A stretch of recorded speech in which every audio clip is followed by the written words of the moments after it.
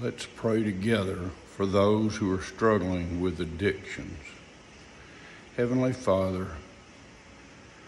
we come into your presence this day and we just give you thanks for life. We give you thanks for every blessing of life. Father, forgive us of our sins and cleanse us of all unrighteousness. Lead us, Lord, in the way that is everlasting.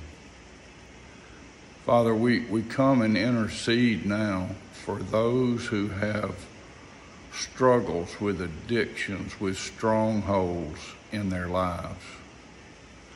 Lord, all of us have challenges and all of us have places that we're weak. So truly, we're praying for all of us, but we especially are praying for those who are uh, just inextricably bound up at the moment or seem to be.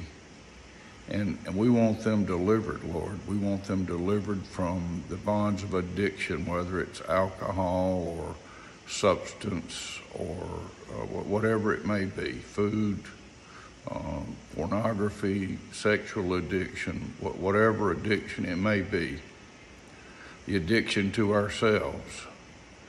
Lord, we, we just pray that you would move in their lives, that you would accomplish God sized things, that you would break the bonds that hold them, that you would break the chains of the addiction and deliver them in the Lord Jesus Christ, free and clear.